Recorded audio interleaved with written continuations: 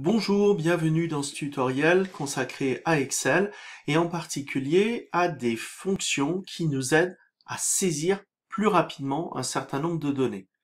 Parce qu'avant de pouvoir travailler avec les données sur le tableur, il faut bien soit les avoir importées, soit les saisir et ce travail est souvent fastidieux. Les premières options à connaître, c'est celles qui vont remplir automatiquement des cellules en fonction des valeurs proches. Par exemple, si on a une liste de personnes et qu'on veut saisir leur sexe, eh bien, on va commencer par taper une première fois euh, qu'une personne est un homme. Et puis, si on a à nouveau un homme à saisir, l'ordinateur va repérer, vu qu'on est dans une cellule qui est proche de la précédente, qui a déjà eu une cellule avec un H qui a été rempli. Et donc, si je retape un H, il me repropose de compléter par homme. Et ça tombe bien, c'est ce que je souhaite faire. Si je tape femme, et puis ensuite que j'ai à nouveau une saisie qui commence par un H, bien il va suggérer homme, parce que euh, cette valeur a déjà été saisie. Alors c'est assez pratique dans une série dans laquelle on a des valeurs que l'on retrouve régulièrement. Maintenant, on va voir une deuxième option de saisie possible lorsqu'on a des suites numériques. Alors je vais prendre par exemple, sur cette deuxième colonne, l'idée de saisir différents clients qu'on va repérer par un numéro. Client 1, client 2, client 3. Donc je vais saisir client 1. Alors évidemment, si je recommence ici à saisir client, eh bien je vais avoir l'option de terminer par 1, mais ça ne sera pas très pratique parce qu'il va falloir non seulement j'aille changer le 2, et puis ensuite, dès la suivante, vu que seule la dernière valeur change, eh bien évidemment, il ne va pas me reproposer une valeur précédente parce qu'il ne sait pas, a priori, que je veux uniquement distinguer la fin de la valeur. Alors, il va falloir trouver une autre manière de faire. Cette manière, c'est d'utiliser le petit sélecteur qui est en bas à droite de chaque cellule quand elle est sélectionnée. On le voit, la cellule sélectionnée elle est entourée, et en bas à droite, il y a un petit carré qui se distingue, et quand je passe le curseur dessus, mon curseur change de forme en se transformant en une croix.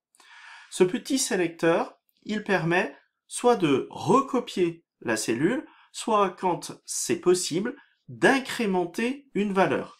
Alors, on va voir tout de suite ce que ça donne lorsqu'on essaie d'incrémenter. Je descends les choses à partir de cette petite croix et on voit qu'il a modifié le numéro du client parce qu'il a repéré que c'était un numéro et que justement il pouvait l'augmenter par pas de 1.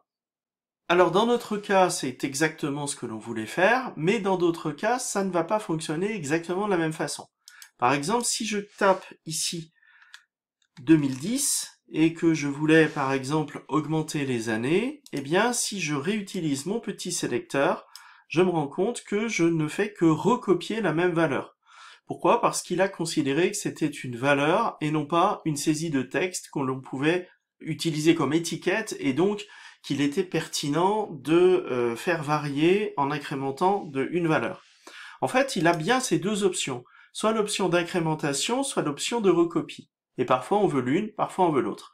Alors quand l'option de base euh, qu'il propose n'est pas la bonne, le moyen, c'est de passer sur la petite croix lorsque le curseur change de forme et de faire cette fois un clic droit et ensuite de descendre nos valeurs. Et là, on a droit au menu contextuel et au niveau du menu contextuel, on a bien les deux options. Soit copier les cellules, qui étaient ici celles qu'il proposait de base, soit incrémenter une série. Et dans ce cas-là, j'ai bien une série qui est incrémentée.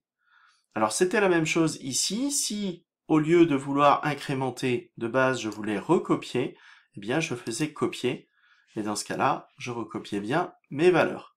Je vais revenir à la version précédente.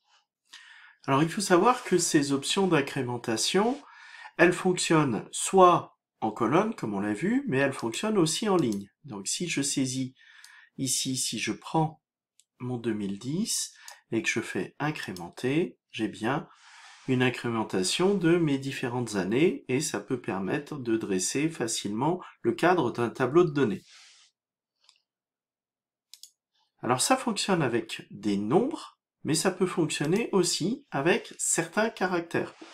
Par exemple, si je tape janvier, et qu'ensuite je demande une incrémentation, eh bien, on voit que spontanément, il me propose les différents mois, dans le bon ordre en plus. Alors ça marche aussi avec les jours de la semaine.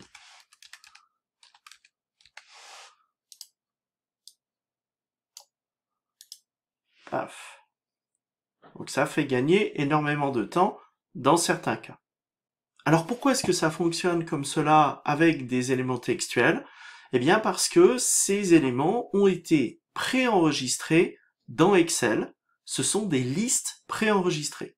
Et il est possible d'enregistrer aussi nos propres listes.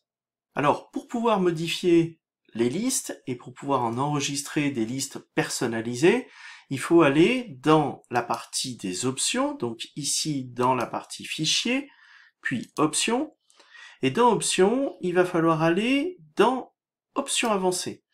Et au niveau des options avancées, descendre tout en bas du menu et repérer ici des listes à utiliser lors des tris dans les séquences de remplissage et la possibilité de modifier les listes personnalisées. Et là, on voit qu'on a déjà des listes qui existent, et c'est celle qu'on vient d'utiliser, à savoir lundi, mardi, mercredi, jeudi, etc. Puis, même chose au niveau des mois. Alors, on pourrait tout à fait saisir sa propre liste. Par exemple, je peux saisir une liste de couleurs. Donc, je vais faire une nouvelle liste, c'est déjà le cas, et puis je vais saisir euh, jaune, vert, bleu, rouge, noir. On va s'arrêter là. On va lui dire que l'on veut ajouter. Et donc, j'ai ici rajouté cette nouvelle liste. Et si maintenant je suis au niveau des éléments, j'avais commencé par jaune. Donc si je tape jaune et que je lui demande d'incrémenter, eh bien je vois que j'ai bien ma série qui est euh, présenté en incrémentation.